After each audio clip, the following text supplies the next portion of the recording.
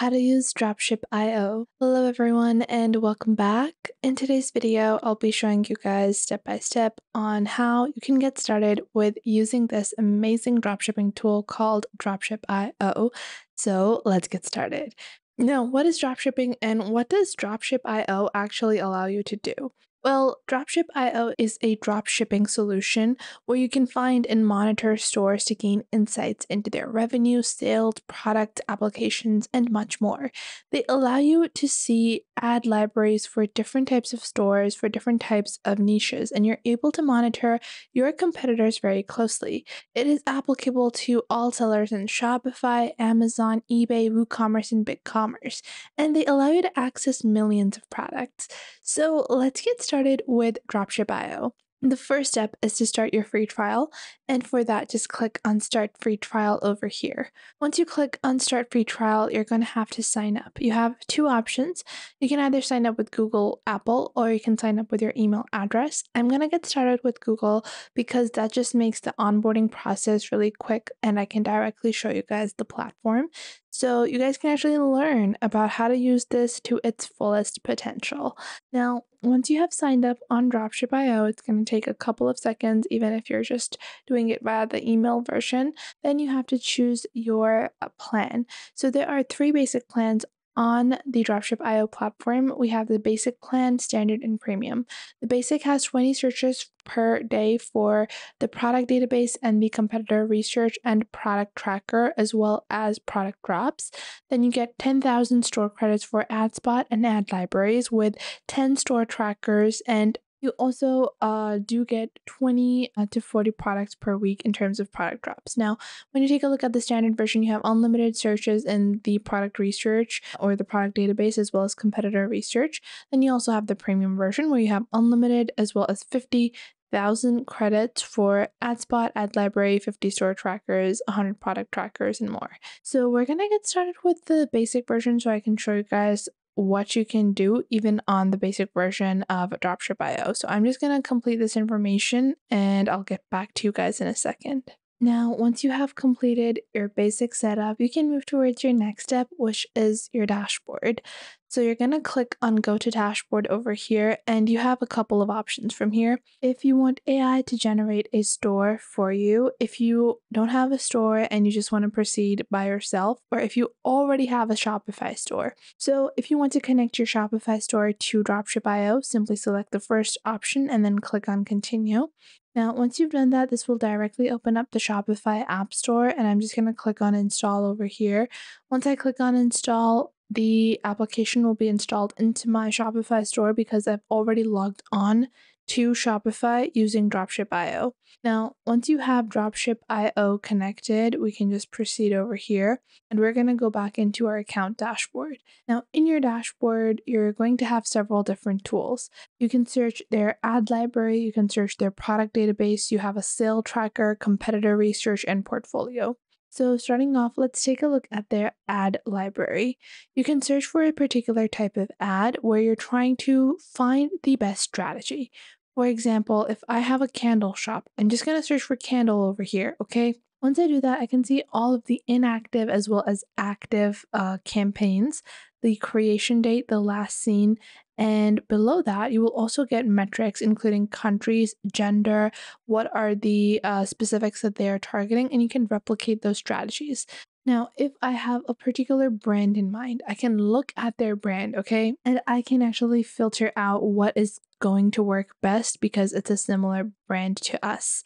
You also have filters where you can choose the ad creative type and the type of ads they have, as well as the ad set amount, their reach that they are getting, the ad running time, and the selling price. You can choose a particular category as well. So if I'm going to deselect all these categories, I only want to look at clothing and jewelry, and I just want to search for fashion over here. And I'm going to click on search over here with these filters. And this is going to allow me to see some successful ad campaigns. I can go ahead and also choose a specific ad set amount or ad spend, which I am also willing to add to my own ad budget. Now you can see on the top right, I have my total credits as well as the search credits I have used. Each ad seen is one credit used. Then after that, we have our ad spot. Now, what is the ad spot? Well, You can take a look at each individual ads on Facebook so you can get insights into it. You can see in your quick search you have dropshipping ads, best performers, and weekly winners. I want to take a look at some of the best performers, and we can even click on the filters to further filter them. I want high engagement, high shares, a video length, comments, and then you guys can see some of the top performers where they're getting the most reactions. They have a abundance of reactions over here. And we can choose the ad creation date. So you want recent ads that were creative. So when you're replicating those strategies, those are not old strategies because sure, an old advert that has been performing well in the past 2 years may not be performing well currently. So you want to look at current ads that are still running. In our call to actions, we have uh, shop now and learn more. Then our website provider is either Shopify or WooCommerce. Let's say I only want to go for Shopify stores, then I can click on search. And now these are all going to be Shopify stores that have high performing ad sets. And I can just take a look at any of the ad sets. And once I do that, if I click on any of these ads over here, I can get further insights into that particular campaign that they are running. So the creation date, the discovered, and the last seen active the ad sharing same URL. So there are two other ads that are sharing the same URL. So there are three ads that are very similar. Their engagement type is pretty high in terms of reactions, but in terms of comments, it's lower. And with shares, it's it's all right. It's not performing that well.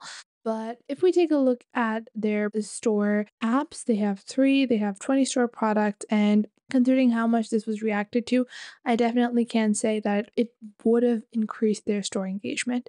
Now, below that, we have a product database. We can search for a particular product. So we can proceed with price. We can filter this out in categories. So, first off, let's say that we are in the clothing industry. So, we're going to select clothing for fashion. We have beauty and personal care, toys, patio, musical instruments, advanced filters.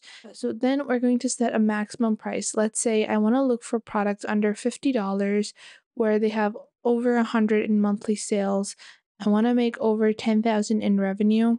I don't have a specific store, no images, no variants, then I can go into advanced filters and look at product creation dates. So I want the product to not be too old. So I'm going to go with September and right now it's January, last 90 days.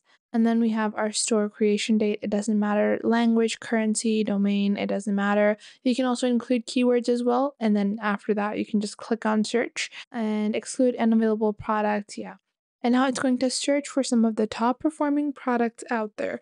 I'm just going to wait for it to find the products that would fit under this niche. If you don't get any search results, that probably means that you have narrowed out your search a bit too much. But usually you can find amazing products. You guys can see we have several different products here and I can click on track over here to track their monthly revenue.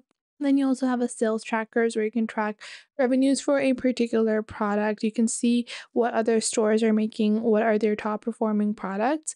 And then below that, you have your competitor research. So you can choose to search for competitor by their product and you're able to see their complete store information and you're able to replicate those results by getting valuable data. Then below that, you have your own portfolio, which is going to be uh, directly imported from your own store and you can get insights into how you can perform better. I hope you guys enjoyed this video and you are now able to get started with Dropship.io. If you did, make sure to leave a like and subscribe. And if you have any questions or queries, you can leave them in the comment box down below. I would love to know what you guys have to say.